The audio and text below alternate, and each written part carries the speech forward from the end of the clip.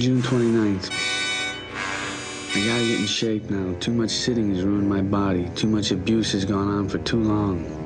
From now on, it'll be 50 push ups each morning, 50 pull ups.